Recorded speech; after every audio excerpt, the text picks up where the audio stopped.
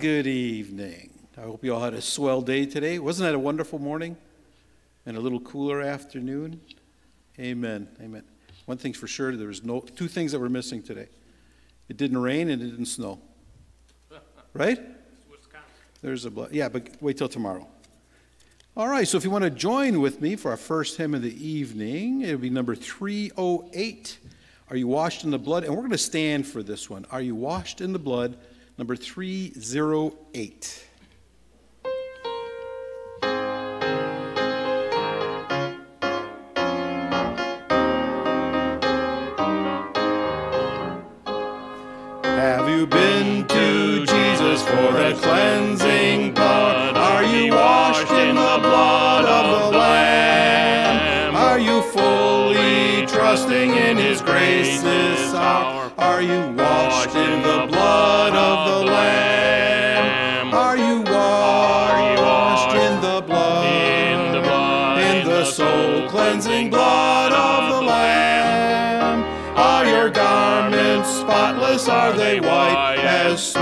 Are you washed in the blood of the Lamb?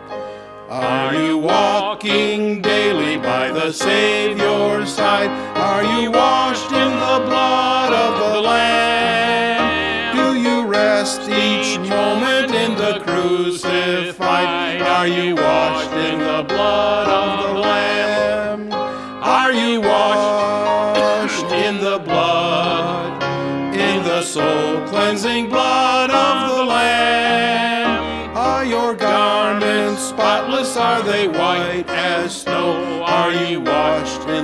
blood of the Lamb?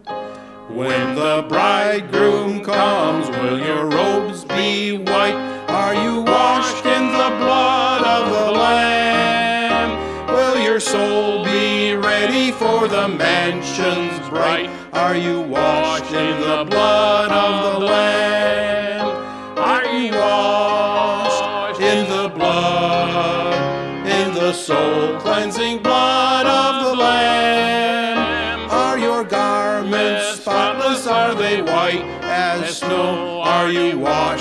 the blood of the Lamb? Lay aside the garments that are stained with sin. Are washed in the blood of the Lamb?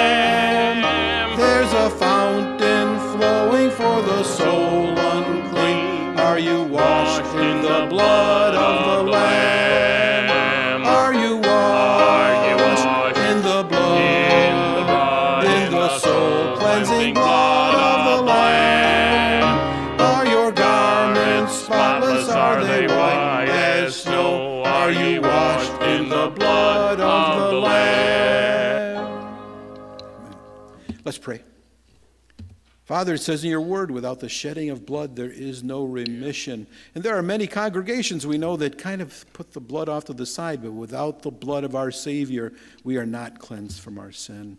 We thank you that you declared from time past to time present, Lord, that the only method of salvation is faith on our Lord Jesus Christ, be covered by the blood of the Lamb. We thank you for your love, so much so that you sent your only begotten Son to be that sacrifice for us. We praise you and we thank you for the mercies that you show us each day.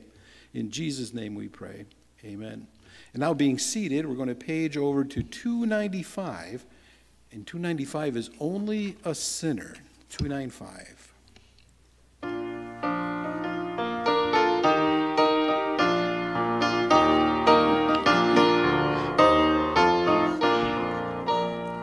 Not have I gotten, but what I received. Grace has bestowed it since I have believed. Boasting excluded, pride I abase. I'm only a sinner,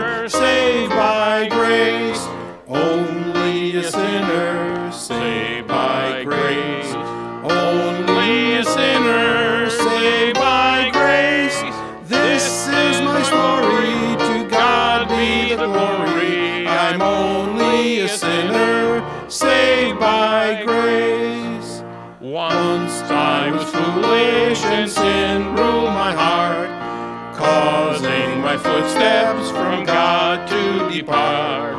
Jesus has found me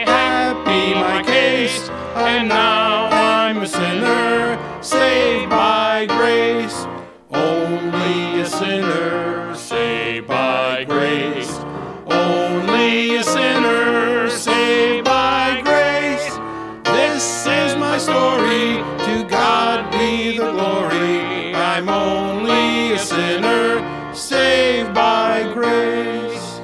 Tears unavailing, no merit had I. Mercy has saved me, or else I must die. Sin had alarmed me, fearing God's face, but now I'm a sinner, saved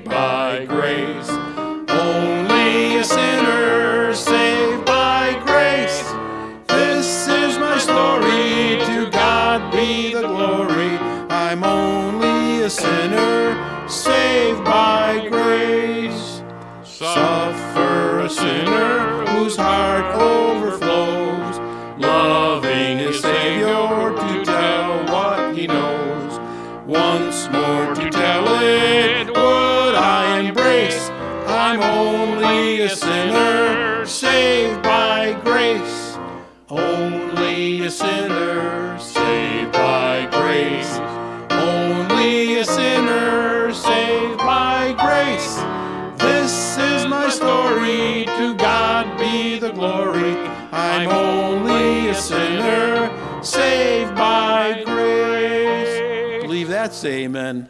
Amen. Amen. Thank you, Lord, for that. And our final hymn of the evening will be number 473. 473. Oh, that will be glory. 473.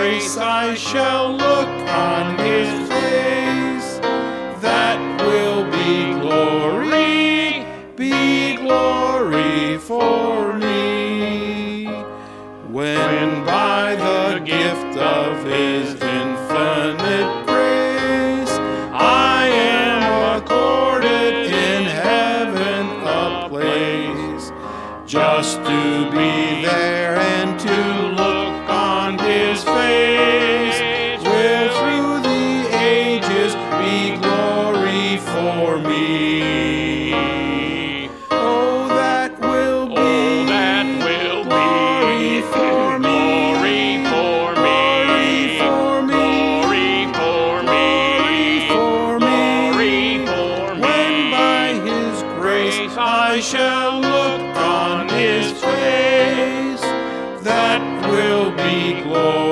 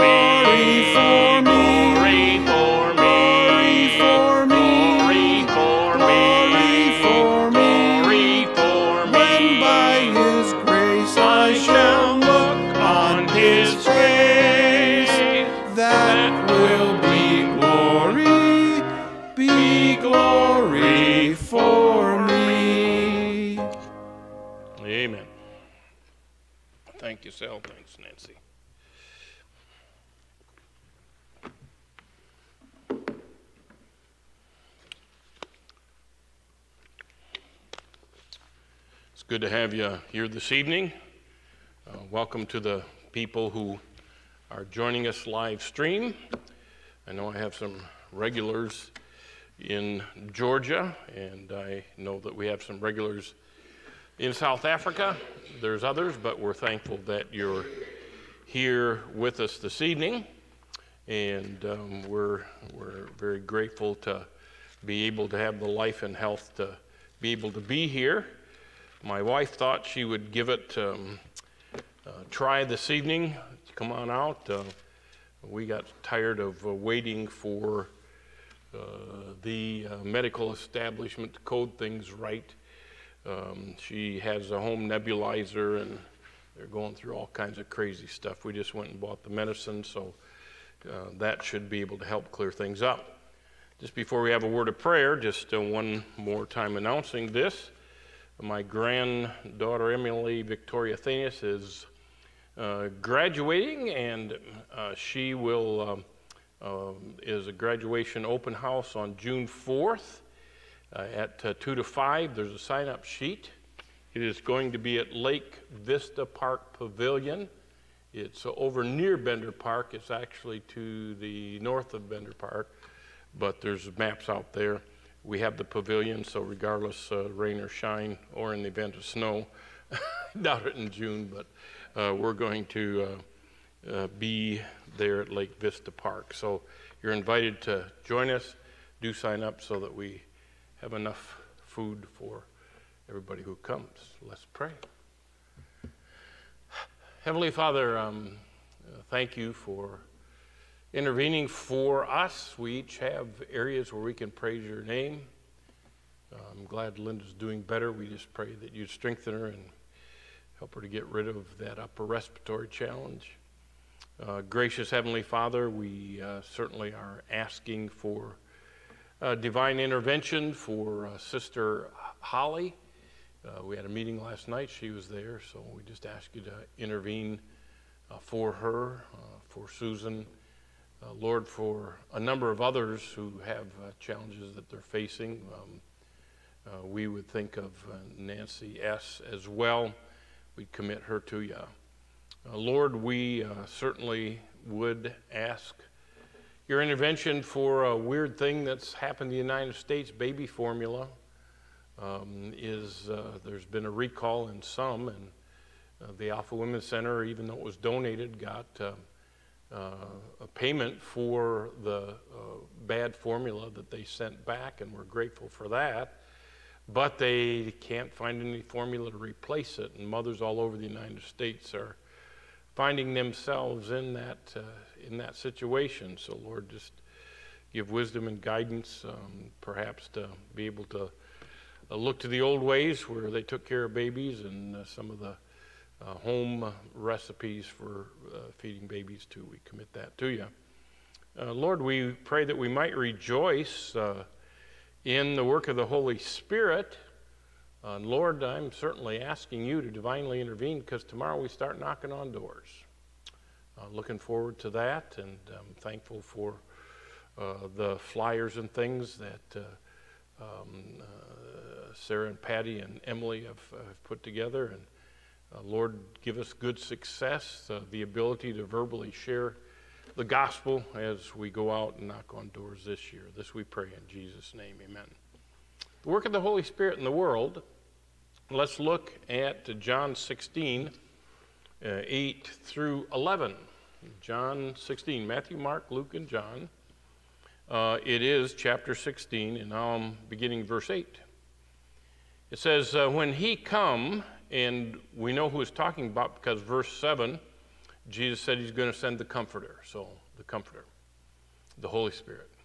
And when he come, he will reprove the world of sin and of righteousness and judgment, of sin because they believe not on me, of righteousness because I go to my Father and ye see me no more, and of judgment because the prince of this world is judged.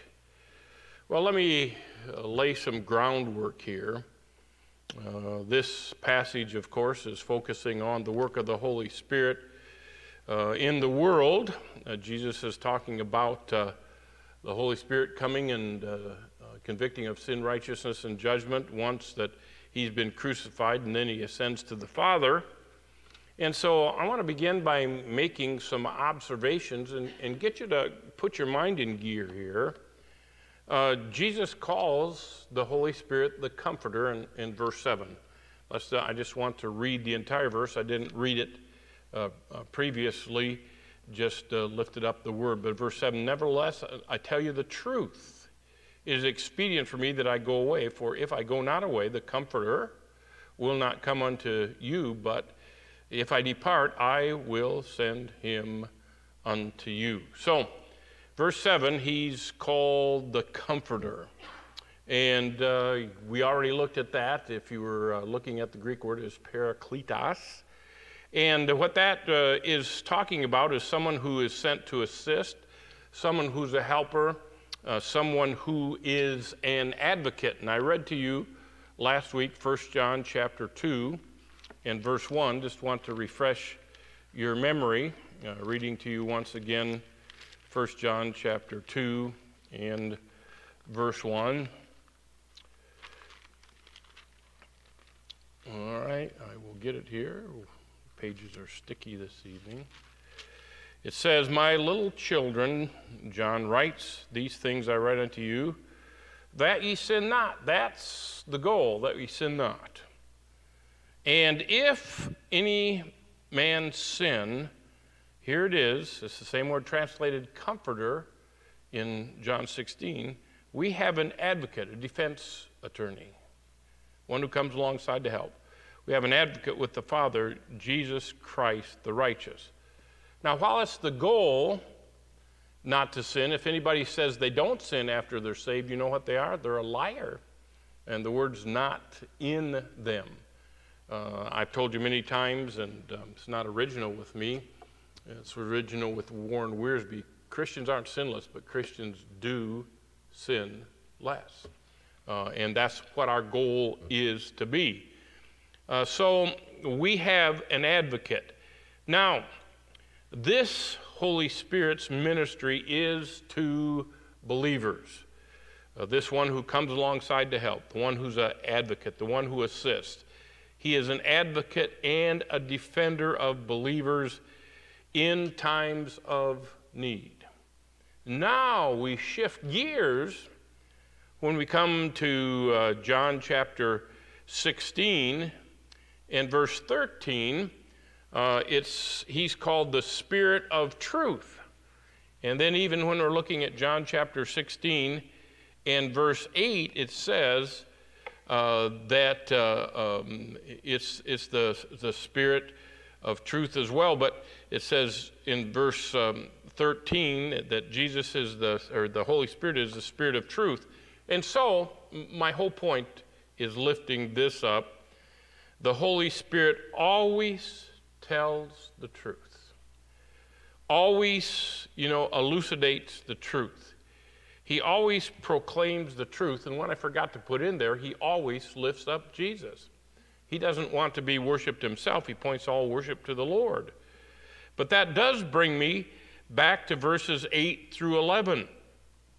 Christ points out that the Holy Spirit's ministry in relationship to the world is completely different than his ministry to believers. Um, he moves from a defensive ministry for believers, it's quite different now. He is moving to an offensive ministry of confronting the unsaved world. Uh, and uh, he is not an advocate, but he confronts the world as a prosecutor and a judge. Sin, righteousness, and judgment. Um, here he comes. He's going to reprove the world of these things. So he's confronting them. He's the prosecutor, he's the judge. The first thing that I would like to take up in this has to do with the, the word reprove. Um, it's elengsi in the Greek, 6 1615 in, in your Strongs. And it is a legal word that means bring to light. It means to expose. It means to refute. It means to pronounce a verdict. It means to convict. It means to find a person guilty. Woo! That's pretty strong. There's uh, no longer is uh, it's a completely uh, opposite end of the spectrum, and God's dealing with believers as He comforts them, as He advocate for them. And now uh, He convicts them of their personal guilt. Now, believers, you all know that we are to be witnesses, and uh, that means that we're supposed to share the word. The Holy Spirit is the prosecuting attorney and the unsaved are the guilty prisoners. I, want, I just want you to think about that a minute. Believers are the, the witnesses against them, uh, and uh, uh, we share the word of God. There's none righteous, no, not what? One, all right? Uh, sinners love darkness rather than what? Light, because their deeds are evil. So uh, believers are the witnesses as they share the Word of God. The Holy Spirit's the prosecuting attorney, and the unsaved are the guilty uh, persons and guilty prisoners. But here's the cool part about it I, I, I just praise the Lord for it because once I was there, the purpose of this indictment is not to condemn them to hell, it's to bring them to salvation. Man. And that's why you can say in John 3:16, we'll look at that whole passage a little bit later, for God so loved the world. But remember, sinners can't be saved until they realize they are lost. And so the purpose, again, of this indictment is not to condemn, but to bring them to salvation. The Holy Spirit works on the minds of the unsaved to show them what the truth of God's Word is. I'd like to go a little bit more on the issue of reproof now. To be sure, no sinner will ever repent and believe the gospel without the work of the Holy Spirit. It's not going to happen. Because, as convincing as our words might be, it's, uh, uh, faith cometh by hearing, and hearing by the Word of God. And without the conviction of the Holy Spirit, nobody's saved. The Holy Spirit has to work on the sinner's mind, or the sinner is never going to get saved. The Holy Spirit has to break through, and first of all, uh, the sinner has a love for sin. Sinners love darkness, sinners love sin. Men are not only in darkness, uh, they're not only blinded, and they're double blinded when you bring Satan into the picture. If our gospel be hid, it's hid unto them that are lost.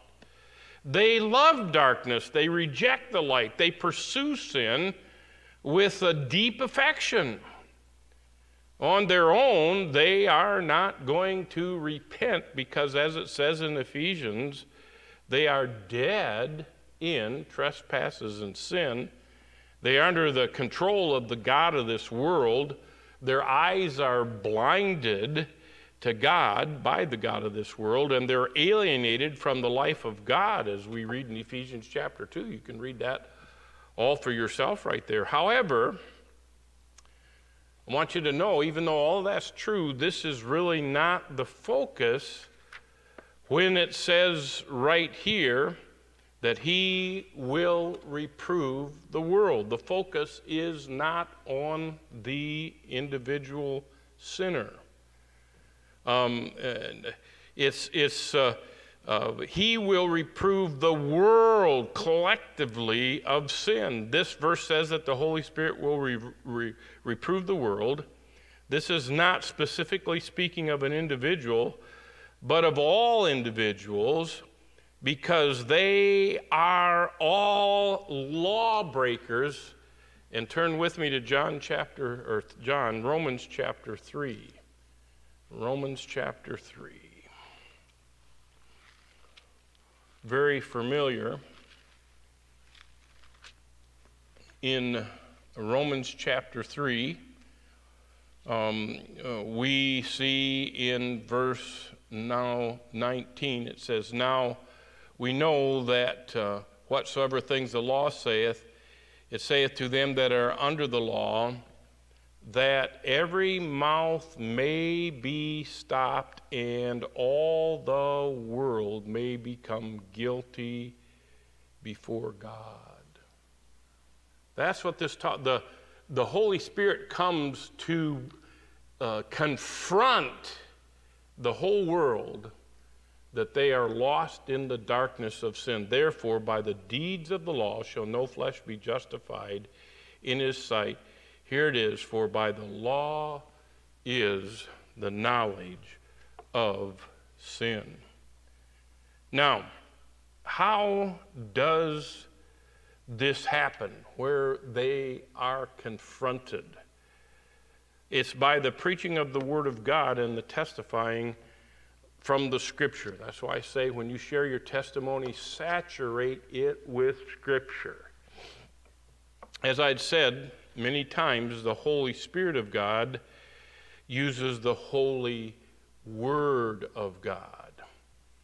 And we read in 2 Timothy chapter 4 verse 2, preach the word. Be instant in season, out of season, reprove, rebuke, exhort with all long suffering and doctrine. Jesus is saying to his disciples, the Holy Spirit is going to reveal the truth. And what that truth was first called was the apostles' doctrine. And then it was also called um, earnestly contend for the faith once delivered to the saints. It ends up now as God brings these things to their mind and moves and gives words to the Apostle Paul and Peter, it ultimately becomes the scripture. But remember, the only scripture that they had in that day was Old Testament scripture. And we know in Acts chapter uh, 8 what happens. Uh, the Ethiopian eunuch was reading in Isaiah and so uh, Philip got up in the chariot and preached to him Jesus from the Old Testament. Um, and so, by means of the revelation of the Holy Spirit, you are going to be able to indict and prosecute and convict the world um, uh, before God. Indictment, conviction, prosecution, that is what we do when we preach the gospel. The good news makes no sense.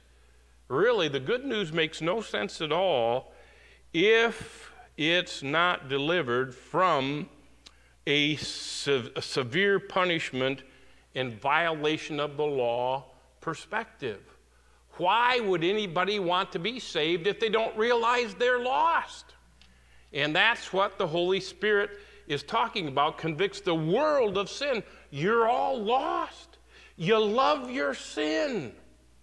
And so we know that the preaching and testifying of the believer is how the Holy Spirit works. Either have your notes or turn to Acts chapter 1 and verse 8. Acts chapter 1 and verse 8. I'm going to turn my mic off just for a minute.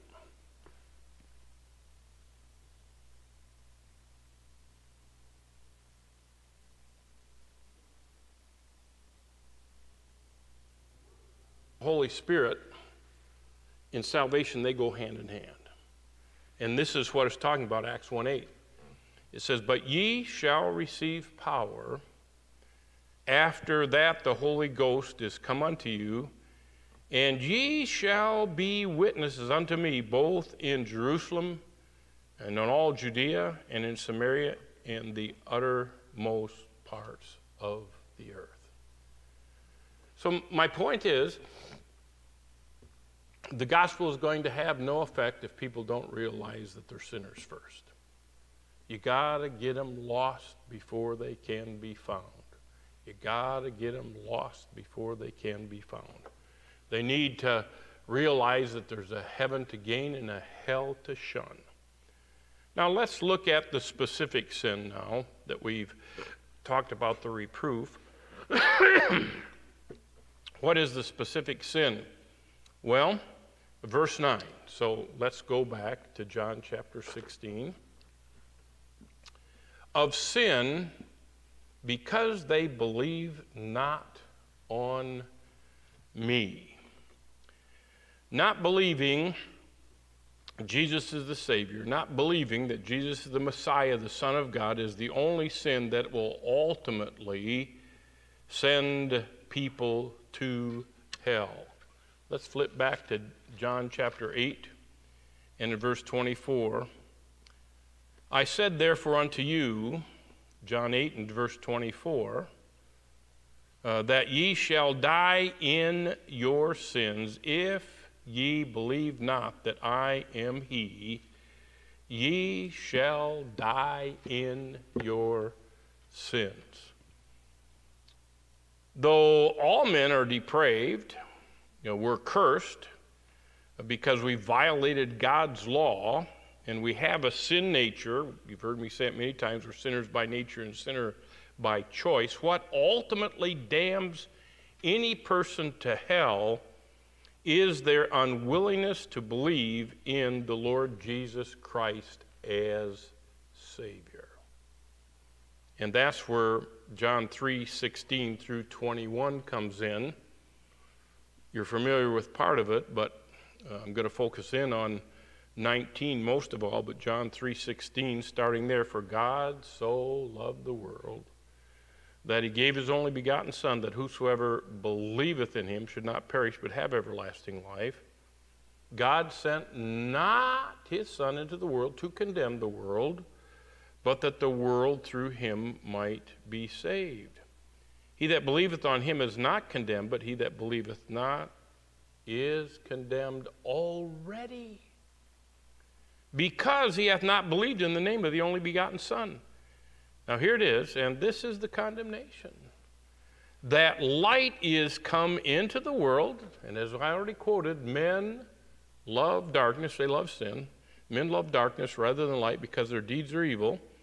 For everyone that doth evil hateth the light, neither cometh to the light, lest his deed should be reproved. But he that doth truth cometh to the light, that his deeds may be made manifest, that they are wrought in God. People would not believe on Christ if it were not for the persuasive work of the Holy Spirit. Millions of people are locked in spiritual darkness. They've never heard the truth. Others are blinded by Satan and don't accept the truth. And our responsibility is to tell them the truth. Jesus said, As long as I am in the world, I am the light of the world. But once he's gone, he said, Ye are the light of the world. Uh, our responsibility is to tell the truth. And as we do it, it's the work of the Holy Spirit that persuades them. And let us testify to the reality of Jesus Christ in our lives, both with our lips and, and our lives. Uh, and let him know that He's alive and He has delivered us from sin and He's forgiven us and He has changed us. The Spirit will use our testimonies to persuade others to come to know Christ. Let's move on to righteousness now. You know, um, in crucifying Jesus, remember what the Jews thought. They, they accused him of being a blasphemer.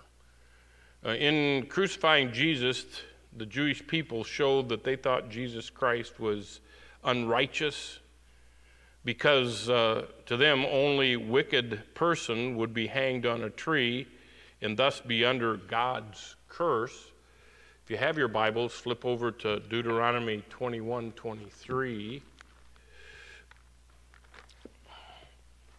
Deuteronomy 21 23. It says, The body shall not remain all night upon a tree, But thou, uh, it says, but thou shalt in any wise bury him that day, for he that is hanged is accursed of God. And that's talking about crucified, hanged on a tree. Uh, that thy land be not defiled, which the Lord thy God giveth thee for an inheritance. Now, very interesting. Flip over to Galatians chapter 3, verse 13 now.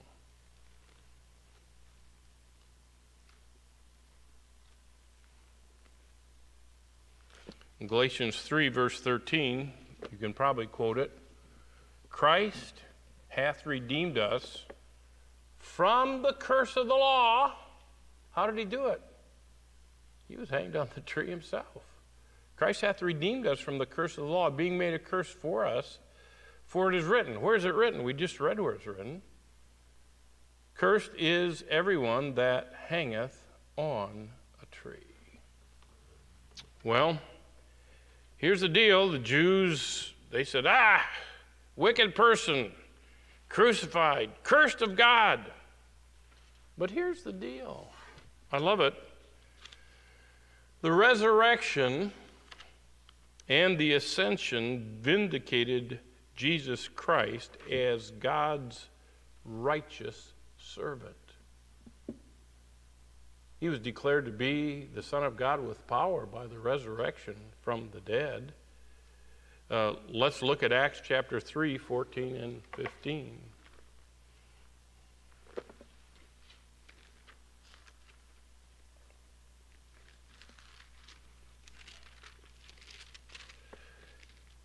In Acts chapter 3, 14 and 15, it says, But ye denied the Holy One.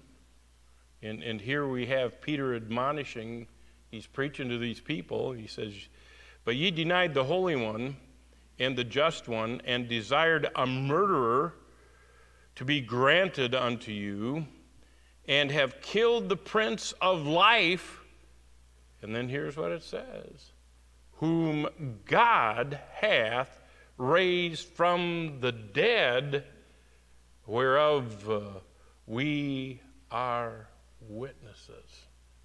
They killed the Prince of Life, but God hath raised him from the dead.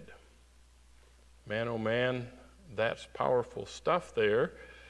Um, the Spirit convicts men of their faulty view of Jesus uh, when the gospel is stressed, particularly the resurrection, and that is proclaimed. And that's what 1 Corinthians 15, 3 and 4, when it tells you and explains what the gospel is. Christ was uh, died, buried, and the third day rose again, up from, I love singing that song, Up from the Grave He Arose. But there's more to it than just that. I want you to think a little deeper. Uh, you'll remember that according to Romans chapter 4, verse uh, 25, that Jesus was delivered for our offenses and raised for our justification. That's what it says. Jesus Christ returned to the Father because he had completed his work here. 1 John 4:14, the Father sent the Son to be what? The Savior of the world. And when he died on the cross, he died a judgment death. That's why he cried out, My God, my God, why hast thou forsaken me? Because God can't look on sin. And so he was paying for the sins of the whole world there on the cross, and God turned his back. He took my guilt, He took your guilt, and He died in my place. He died in your place.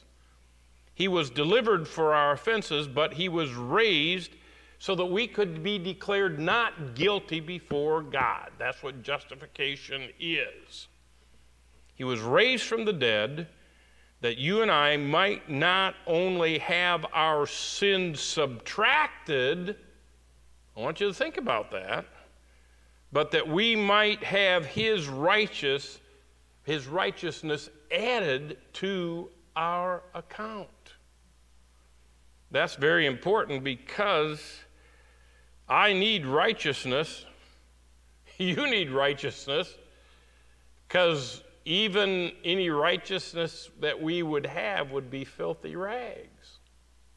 We don't have any righteousness of our own. It's, it's not enough.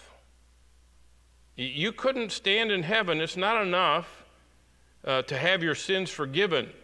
You cannot stand in the presence of God um, if you were nothing but a pardoned criminal. Christ gave over his righteousness. That is the righteousness Paul spoke of in Philippians chapter 3 verse 8 and 9 that I might win Christ and be found in him here it is not having mine own righteousness which is of the law but that which is through faith the faith of Christ that the righteousness which is in God, which is of God by faith. So we can't stand on our own righteousness, but it is the righteousness that we have in Christ. He not only subtracted our sins, hmm, he added his righteousness to our account. If we are to have any standing before God, we must be in Christ and have his righteousness. Either we have as much a right to be in heaven as Christ himself, or we have no right to be there at all. I'm saved.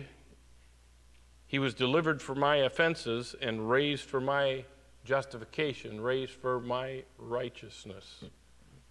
Finally, judgment, the third area the Holy Spirit's convicting work concerning judgment. It's really cool.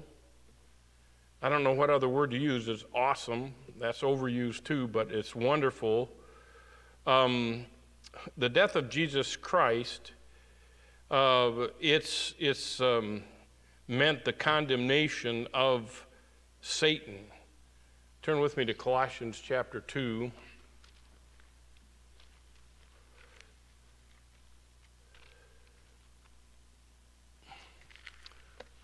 Colossians chapter 2 and verse 15, it says, um, let's go back to verse um, 13, Colossians 2:13, and put it a little bit in context. And you, being dead in your sins and the uncircumcision of your flesh, hath he quickened or made alive together with him, having forgiven you all trespasses, trespasses, blotting out the handwriting of ordinances which was against us, which was contrary to us, and took it out of the way, nailing it to his cross and he, here it is, and having spoiled principalities and powers, he made a show of them openly, triumphing over them. The demonic forces, the principalities and powers, he triumphed over them. He triumphed over the prince of the world. John 14, in verse 30, just says this Hereafter I will not talk much with you, for the prince of the world is come and hath nothing in me. He didn't have anything to accuse Jesus of that was legitimate, but he defeated the devil. Turn with me to Hebrews chapter 2 and verse 14 in Hebrews chapter 2.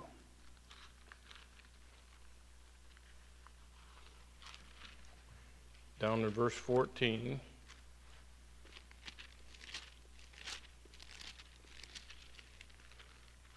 We read this.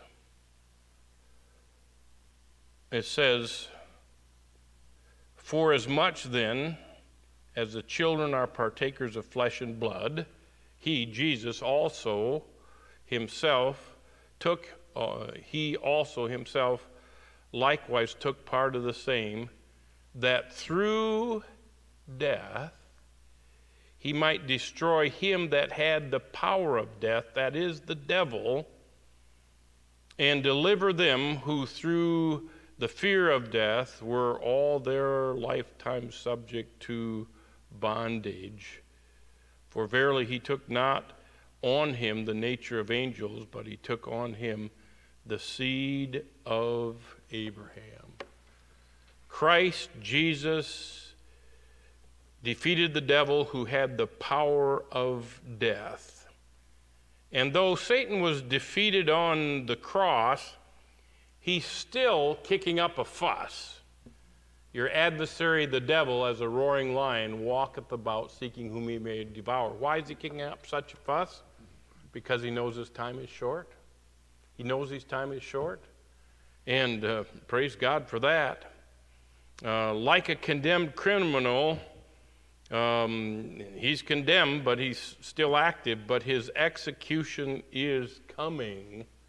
That's talking about the devil. Let's look at Revelation 20, verse 2, and then 7 through 10.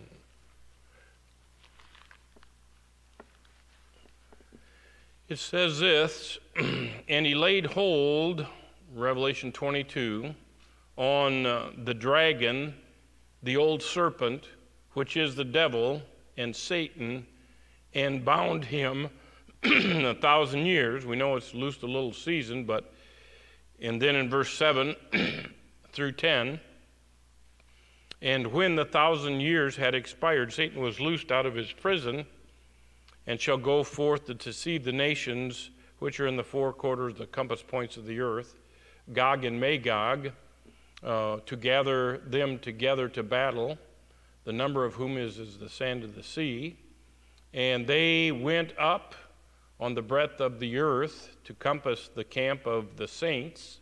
That's uh, the thousand years where we rule and reign with Christ.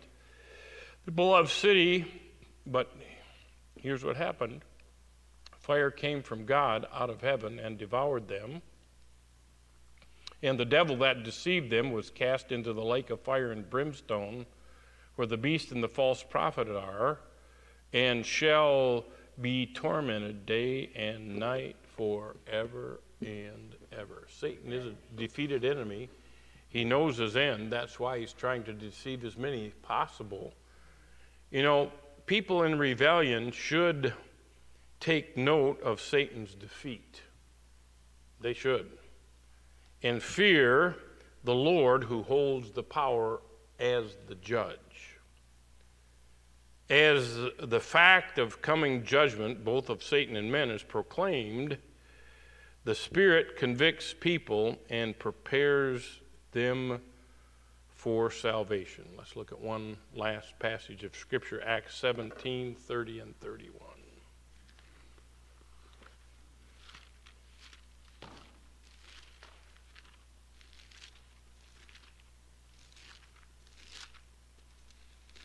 Acts 17, 30 and 31 says, Because he hath appointed a day, oh, back up, Acts 17, 30, and the time and the time of this ignorance God winked at, but now commandeth all men everywhere to repent, because he hath appointed a day in the which he will judge the world in righteousness by that man whom he hath ordained, whereof he hath given assurance unto all men, in that he hath raised him from the dead. Well, there's a judgment day coming, and that's why in John 16, We've looked at the sin because they believe not, the righteousness because Jesus Christ was righteous and went to his Father, and Satan is judged, and those who don't believe on the Lord Jesus Christ are going to join Satan for all of eternity, first in hell and then to the eternal hell, which is called the lake of fire. All right, that's as far as we're going to go this evening. I'm going to have uh, Randy take us off the air. Join us uh, this coming Sunday. We'll be going back in our study of uh, Philippians and We'll be looking at Satan's lie relating to the geologic column as we continue that in Sunday school, and additionally, a new name of God in the evening service. Thanks for joining us.